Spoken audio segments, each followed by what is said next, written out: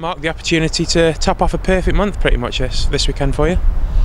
Well, yeah, it's, uh, it's gone really well in recent weeks. Uh, certainly, last couple of games have been really positive for, for ourselves. But it's now it's about making sure we retain our focus and uh, and we make sure that we play well from now to the end of the season. If we can maintain the levels we've hit in recent weeks, then then we'll have a good total. So that's that's the the drive that we have to show.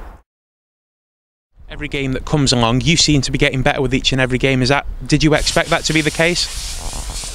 Yeah, um, I, I try every game to give my best, and I try every game uh, uh, to, to do something good for the team.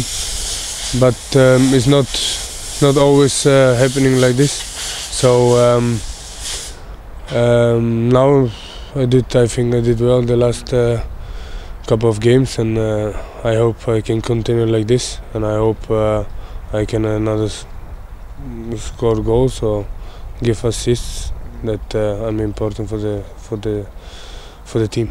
And for you, it must be great to have the supporters firmly on your side. They, they sing in your name every single game. Yeah, yeah. This is um, this is fantastic.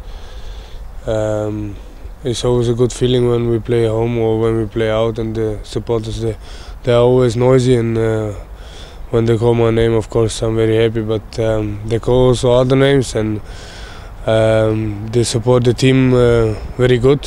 And I hope they support uh, the last seven games as well, like this, because we need them. Happy to be back at the Britannia Stadium.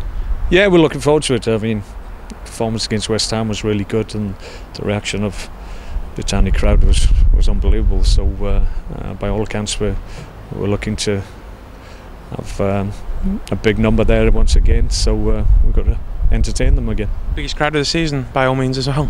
All right. Um, well, let's hope we don't disappoint them. That's not our intention. We're we're looking to, to build on what we've done in recent weeks, and if we can do that, then uh, everybody goes home happy.